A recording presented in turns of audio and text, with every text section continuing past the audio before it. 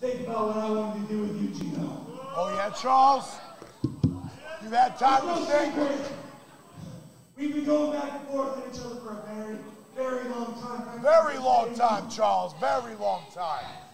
Well, you know the truck. I come out here on the truck. I'm fueled by the killing machine. Blood, sweat, and gears all day long. And I'm the champ, Charles. What's your point? I'm a cowboy.